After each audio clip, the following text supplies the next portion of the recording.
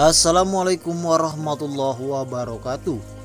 Balik lagi di ulasan alur cerita sinetron Love Story The Series Yang tayang siap harinya di layar televisi kesayangan kalian Yang tentunya semakin seru dan semakin menegangkan lagi untuk kita saksikan.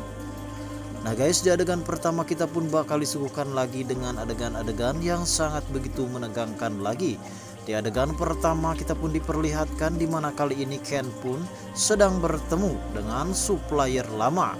Karena supplier lama ini merasa kecewa atas kinerja dari PT Arga Group tersebut semakin merosot. Karena memang kali ini supplier ini telah mengkomplain dan mengklaim tentang kerjasamanya bersama Arga Group. Dan tentunya kali ini supplier lama itu pun memberitahu kepada Pen agar supaya Ken bisa-bisa bermusyawarah lagi dengan dirinya. Dan kali ini Ken juga akan berusaha meminta pertolongan kepada Argadana agar supaya bisa menjelaskan semuanya tentang kinerja dari PT Arga Group tersebut. Dan di adegan lain juga di mana kali ini Atar pun yang sudah berubah di mana kali ini hati Atar pun sudah berasa tenang ketika ia bisa melaksanakan sholat berjamaah bersama Rian. Namun tadi sangka di sini Atar pun sedikit kecewa ketika membahas sebuah tentang perjodohan antara dirinya bersama Madinah. Rian pun di sini sempat saja ingin menanyakan hal tersebut, namun nyatanya Rian pun masih belum bisa mengungkapkan hal itu kepada Atar karena memang Rian di sini sangat begitu tidak enak apabila menanyakan hal tersebut kepada Atar. Karena Rian juga di sini belum bisa menanyakan siapakah wanita yang dicintai oleh Atar ini karena Atar juga di sini masih merahasiakan wanita tersebut di hadapan Rian. Nah guys sebelum lanjut juga bagi kalian yang baru saja bergabung dan menemukan channel ini alangkah baiknya terlebih dahulu kalian bantu channel ini dengan cara tekan tombol subscribe dan hidupkan tombol lonceng notifikasinya agar kalian tidak ketinggalan info-info menarik dari sinetron kesayangan kalian di channel ini. Dan namun sebelumnya juga mari kita mendoakan kepada seluruh kru dan pemain agar sehat selalu serta doakan love story ke depannya semakin menarik lagi agar supaya bisa bersaing di rating teratas. Nah guys di mana kali ini Maudi dan Ken pun yang sangat begitu merasa bahagia Ken pun selama ini tidak pernah menyia-nyiakan perasaan Maudi yang selama ini telah sayang kepada dirinya. Namun di lain sisi juga di sini ketika Ken baru saja datang ke perusahaan Arga Group dan kali ini Arga Dana sudah menunggu kedatangan Ken di ruangan Ken tersebut. Yang pada akhirnya Ken pun menghampiri Arga Dana dan membicarakan sesuatu yang penting. Mungkin kali ini Ken pun akan mengungkapkan kepada Arga Dana bahwasanya Wilantara akan memasukkan Ken di PT Wilantara Perwasata. Dan kali ini Argadana juga sudah menegak kalau selama ini Ken akan membicarakan hal itu kepada dirinya. Karena memang Argadana juga di sini menyarankan kepada Ken agar supaya Ken pun bertahan di PT Arga Group tersebut.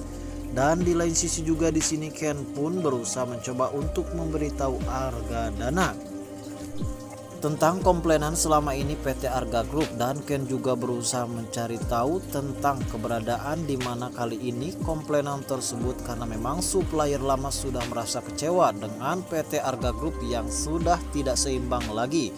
Nyatanya kali ini Arga dan juga berusaha menghubungi si Arman dan berusaha juga untuk mendatangi Argadana di ruangan Ken yang pada akhirnya kali ini Arman dan Emily pun datang ke ruangan Ken. Di sini juga Argadana menanyakan tentang supplier lama telah mengkomplain tentang kinerja di PT Arga Group tersebut. Namun nyatanya di sini Arman pun berusaha mencoba menjelaskan kepada Argadana bahwasanya supplier yang baru lebih bermutu daripada supplier yang lama. Sehingga membuat Argadana pun di sini sangat semakin simpati terhadap perlakuan Arman.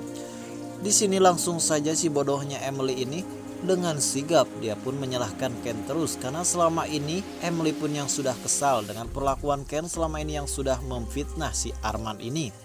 Emily yang sangat begitu bodoh dia pun selalu membela tentang kebenarannya ataupun kebohongannya si Arman selama ini di hadapan Argadana. Karena Emily juga berpikir kalau selama ini Ken pun akan mendapat perhatian dari Argadana. Sehingga di sini Ken pun berusaha mencoba untuk menghasut Arman agar supaya Arman pun dimarahi Argadana. Namun nyatanya di sini Ken pun hanya bisa berdiam diri karena dia pun selalu bersabar ketika Emily mengoceh-ngoceh kepada dirinya. Karena Ken pun tidak mau nantinya terjadi keributan di antara Emily bersama dirinya dan Argadana juga di sini sudah terhasut rayuan licik dari si Arman bodoh ini karena memang si tangkurak Arman ini memang sangat bisa membicarakan hal tersebut kepada Argadana. Di lain sisi juga di sini si Haris yang memang kali ini Haris pun sudah mendapatkan jatah uang yang sangat begitu banyak dari si Arman ini. Karena memang hasil korupsi Arman pun di sini sangat memuaskan sekali. Yang pada akhirnya di sini Haris pun mencoba untuk mendapatkan hatinya si Tangkurak Anita. Karena Tangkurak Anita di sini hanya bisa memanfaatkan Haris. Karena selama ini juga Anita tidak pernah mencintai Haris. Anita juga di sini hanya bisa memanfaatkan ketika ia ingin membutuhkan sesuatu kepada Haris. Di sini Haris pun membawakan sebuah mobil yang sangat begitu mewah dan ia pun memberikan sebuah mobil tersebut kepada si Anita. Yang pada akhirnya di sini Anita pun berusaha mencoba untuk menjajal mobil tersebut dan akhirnya si Haris pun ditinggalkan karena memang di sini Anita pun akan sangat leluasa apabila dia harus berdekatan dengan Faisal membawakan sebuah mobil elitnya itu.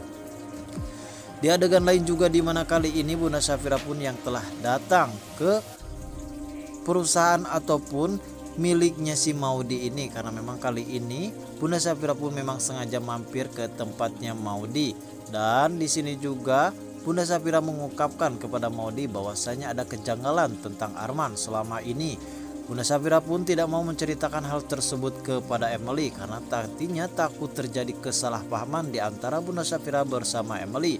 Mereka pun di sini masih merahasiakan siapakah sosok Arman sebenarnya. Di lain sisi juga di mana kali ini Arman pun sudah merencanakan sesuatu dan ia pun membicarakan hal tersebut kepada si Sandi ini.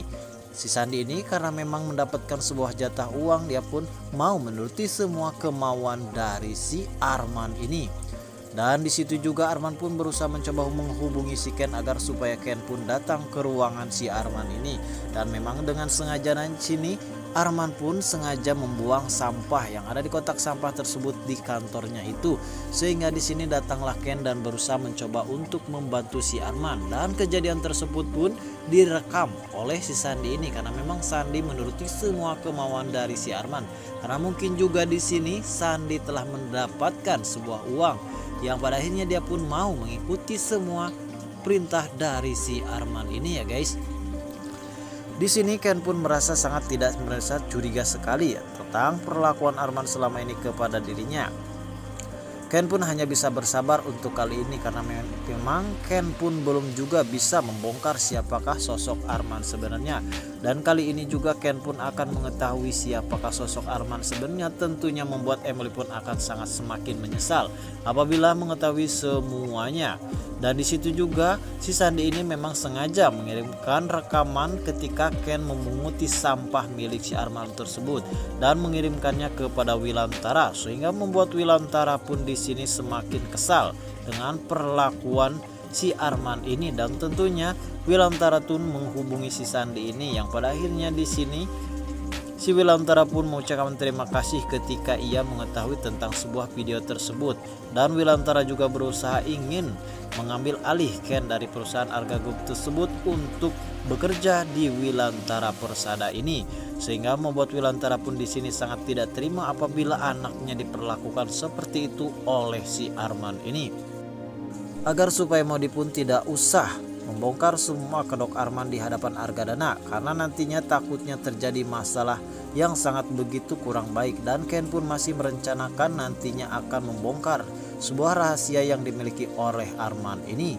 Namun apakah mungkin kali ini Maudi dan Ken pun begitu juga dengan Bunda Safira akan bersatu dan membongkar dan menjebak Arman ketika mengetahui kebusukannya yang pada akhirnya Ken pun di sini akan melaporkan kejadian tersebut kepada Argadana. Dan semoga aja kali ini Ken dan Argadana pun bisa bersatu dan Argadana juga mengetahui siapakah sosok Arman sebenarnya.